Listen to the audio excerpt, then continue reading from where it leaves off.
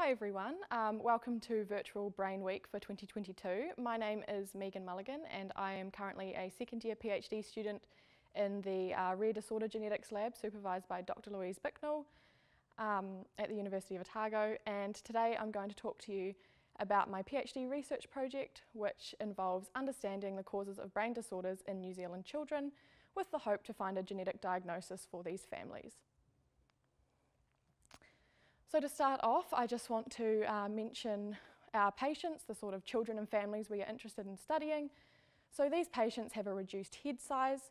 So if you look at the picture here, um, we have a baby with a typical head size, and to the right of that we have a child with a reduced head size, also known as microcephaly, like I said, and then even further than that we can have uh, babies with severely reduced head size, which you can see the comparison compared to the babies with the and the dotted dashed line as to where the typical head size would be. Some of our patients also have uh, intellectual disability as well as developmental delay, meaning that these children aren't meeting their developmental milestones, whether that's talking, crawling, walking, uh, things like that.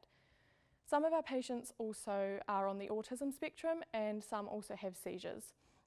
So not all patients have every single um, one of these characteristics, but some can have say reduced head size and developmental delay together. So I want you to start by thinking of our genome as a library. And in our genome library, as you will see in the picture on the right, it is made up of, um, made up of lots of books. And in these books, if we were to open one, we would see that our genome is made up of billions of letters. A's, G's, T's and C's repeated all throughout, as you can see on the left. So my job in my PhD research is to go through these books through a single chapter to find a single sentence and look for a single spelling mistake. And that is very difficult. It's almost compared to like looking for a needle in a haystack. Sometimes you don't even know where to start.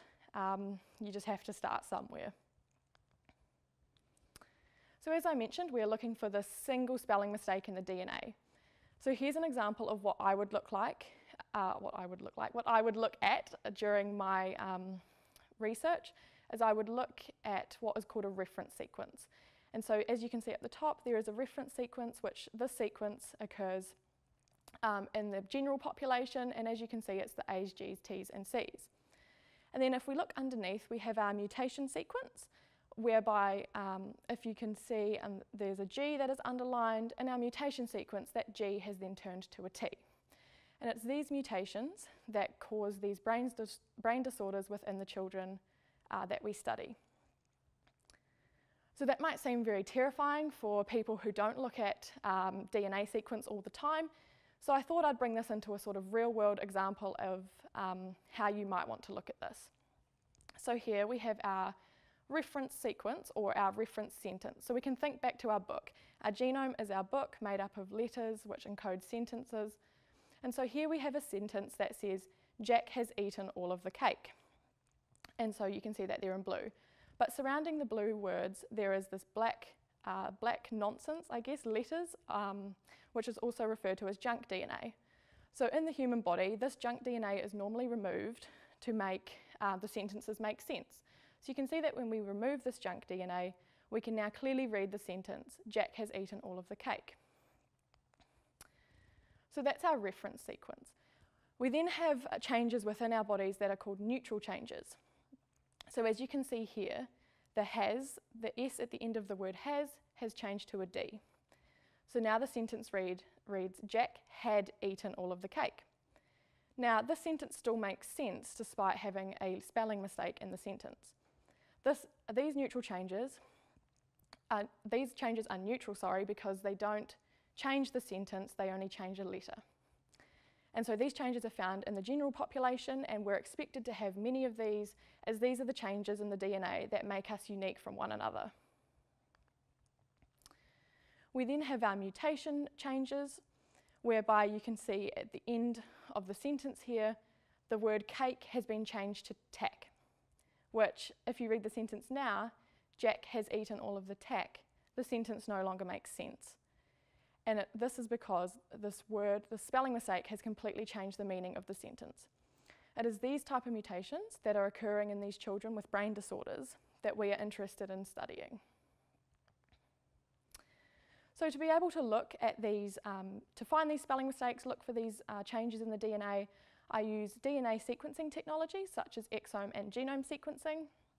And so exome sequencing might sound like a really scary word for people who don't think about it all the time, but if we break it down and think back to our book, our bookcase, all of our books of our genome, we have a book. We have a single book. We can open that book and there'll be chapters in the book. Exome sequencing is just like looking at the chapters of the book. So you're not looking at the entire book, you're just looking at a select few chapters that make the machinery for our body. And so to do exome sequencing, we often get DNA from the patient as well as both the mum and the dad. By doing this, it allows us to um, get an idea of how this spelling mistake or mutation might have been inherited, whether it has come from mum, whether it has come from dad, whether it had come maybe from both parents, or whether it had just occurred by chance. So once we get our patient DNA as well as our parental DNA, we then take our DNA samples, which usually come from blood, and send them away for sequencing. So these um, DNA samples go through the sequencer, where the sequencer reads the DNA sequence, reads out all of those A's, G's, T's and C's, produces a huge amount of data, even though it's only from a few chapters of the book, it's still a lot of data. We then take this data, which we put through our computer programs, which then decides whether there is a spelling mistake, so a difference from the reference compared to the um, patient DNA sample.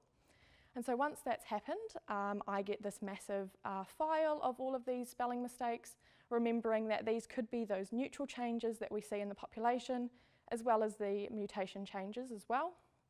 My job is then to filter through all of this and determine whether it's a neutral change, one that we would commonly see, or whether this change is uh, likely to cause the disorder in the child. However, sometimes exome sequencing might not give you the answer, which is when we need to use genome sequencing. So you'll remember I said exome sequencing, we're only looking at particular chapters in the book. So when we do genome sequencing, we grab that entire book, all the books off the shelf, we open the book and we read everything. So you can't expect to just read a few chapters of the book and expect to know everything by the time you get to the end of the book. And that's sort of the same for exome sequencing, which is why we might do genome sequencing. Another reason we might do genome sequencing is that sometimes we might not have any parental DNA. Uh, this might be for a number of reasons, such as the parents might now be deceased or they just choose not to take part in the study. And so here is just a few examples um, from my PhD so far. So sometimes we can be very, very confident about a spelling mistake. So here we have um, a New Zealand family where they have a child who has reduced head size and they're also quite short. Um, and this um, image here on your left is just a way that we can visualize and look at the DNA sequence.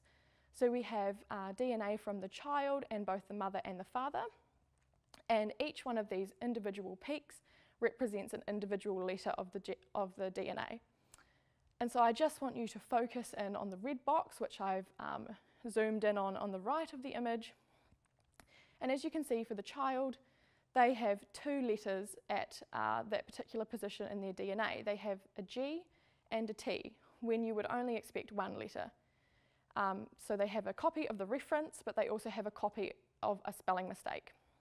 And if we look further, we can look at the mother, who also has one copy of the reference and one copy of the spelling mistake. But if you look at the father, you can see that he only has the reference G. This shows that the uh, spelling mistake in the child has been inherited from the mother. And not always um, uh, mutations or spelling mistakes this easy to find, but one thing that helped me become very confident in this spelling mistake is that uh, researchers from uh, over the world also have patients who have reduced head size, also have some short stature, quite small patients. They have similar uh, spelling mistakes or the same spelling mistake in this gene as we do in our patient. So that led me to conclude that I was very confident that this spelling mistake was causing the disorder in our child. However, like I said, things aren't always that easy and sometimes the spelling mistakes are much less clear. So I found a particular spelling mistake in one of our patients who again has a reduced head size, um, but there was very little published about it. Not many uh, researchers around the world or in New Zealand um, had written much about it or know much about it. So I wasn't confident that the spelling mistake uh, was causing the disorder, but it looked promising enough for me to investigate further. So you can carry out experiments in the lab to see if this particular spelling mistake is causing the disorder in this child. And so to do this, I first had to make a prediction. Uh, my prediction was that this particular spelling mistake in this individual might not cut out the junk DNA. So again, if we revert back to uh, our reference sentence in the beginning of the uh, presentation, where Jack has eaten all of the cake, normally, as I said, the uh, junk DNA will be removed, it'll be cut out from the sequence, and the sequence will be read, uh, the sentence will be read clearly. However, I think this particular spelling mistake is not cutting out the junk DNA properly.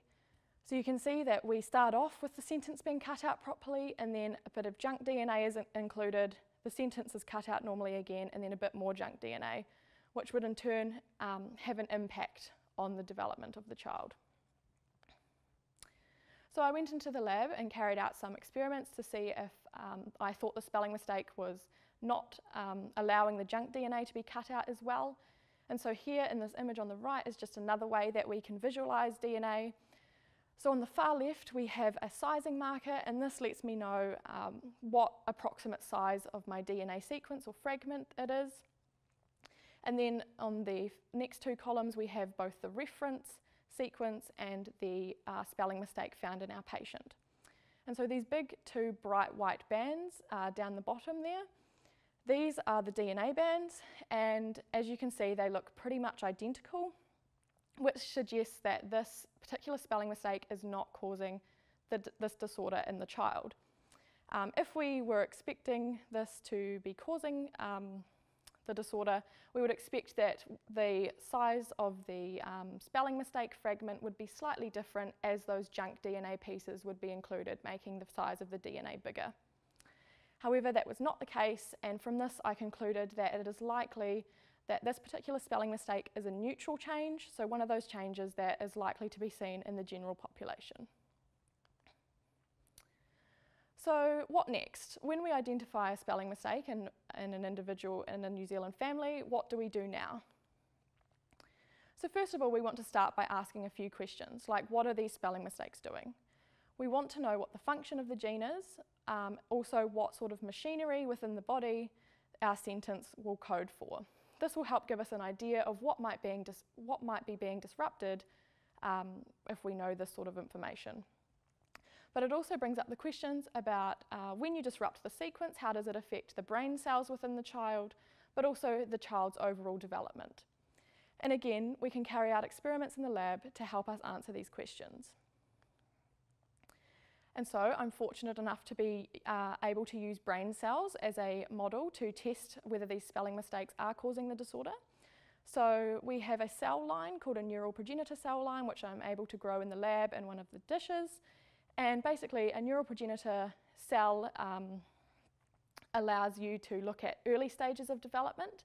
And what's really cool about these cells is that you can um, give them a few, I guess, if we want to talk about it in terms of the real world, you can give them some snacks and then they'll turn into neurons, which will help us look at later stages of development. And by doing this, we can either track how the um, spelling mistake is disrupting the child's development over time from the early stages to the late stages, or how it affects a particular stage of development. Um, another thing that's really cool about these is that we can actually introduce our own spelling mistakes to replicate what we might see in the child, or we can also delete the entire sentences from the book and see what that does to the cells. So lastly, I just want to talk about why I think it's so important to identify these spelling mistakes. So firstly, uh, I think a really important thing is you're able to help families. So it can give families answers as to why their child has the genetic disorder they do. Um, with these genetic brain disorders that we study, they're often so rare that um, our patients are the only, only family in New Zealand to have this spelling mistake. Um, so there's not a lot of information on how the future may look for their child. So by being able to um, talk to our international collaborators and network, we're able to find other children who have similar spelling mistakes in the gene from overseas and then bring this information back to New Zealand where we can um, then give the patient and their family a better idea of how their future may look. And the second is to better understand biology, in particular how the brain develops. So there's a lot still currently unknown about the brain development and how um, humans develop in general. We are making progress, but there's always progress to be made. Um, so I think these are two, the two reasons why it's very important for my PhD research to be looking for these spelling mistakes within New Zealand families and children who have um, brain disorders.